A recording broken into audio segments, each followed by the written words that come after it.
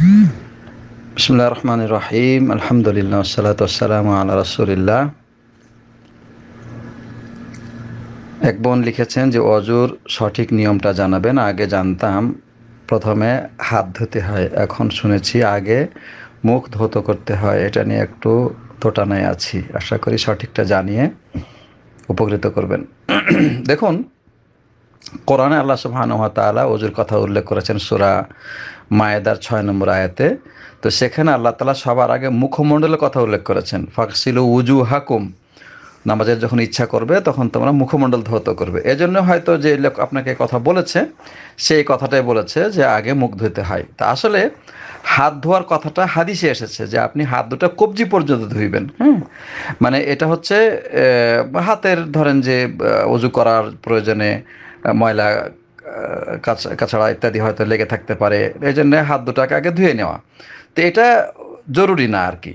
হ্যাঁ আপনি যদি হাতে ভালো করে না ধন এমনি হাতে পানি নিয়ে ডাইরেক্ট মুখে দিয়ে কুলি করে নাক ঝেড়ে আপনি সরাসরি মুখ ধৌত করেন, তাহলে আপনার অজু হয়ে যাবে। ঠিক আছে? তো প্রথমে হাত দুটো কবজি পর্যন্ত ধোয়াটা, এটা হচ্ছে সুন্নাত এবং উত্তম। হুম? তো এই জন্যে এই হাত ধোয়াটা যে কোনো ওয়াজিব বা ফরজ, প্রথমেই মানে উজুর শুরুতে হাত ধোয়া যে ফরজ বা ওয়াজিব নয়, তার প্রমাণ হলো যে আল্লাহ তালা মুখ ধোয়ার পরে হাত ধোয়ার কথা উল্লেখ করেছেন। হ্যাঁ সোরা মায়েদার ছয় নম্বর একটা পড়ে দেখলে আপনি জানতে পারবেন যে আল্লাহ তালা মুখ ধোয়ার পরে হাত ধোয়ার কথা উল্লেখ করেছেন। তাহলে আপনি যে হাত দুটো ধুয়েছেন কবজি পর্যন্ত, এখন মুখ ধোয়ার পরে ওই হাত দুটোকে কোনই পর্যন্ত ধুইতে হবে। তো এখন কোনই পর্যন্ত যখন আপনি ধুইতে যাচ্ছেন, তখন মানে পুরাটা ধুইতে হবে।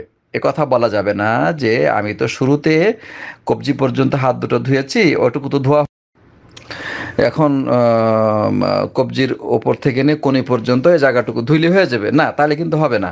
মুখ ধোয়ার পরে আপনাকে আঙ্গুলের প্রান্ত ভাগ থেকে নিয়ে একদম কোনি পর্যন্ত পুরাটুকু ধুইতে হবে। এটা হচ্ছে আপনার মুখমণ্ডল ধোয়ার পরের সিরিয়াল অনুযায়ী এটা বড় ফরজ একটা। হুম? তো এরপরে আপনি মাথা মাথা মাসে করবেন, তারপরে পা ধত করবেন। এটা হচ্ছে ওজুর নিয়ম। আল্লাহ তালা আলাম।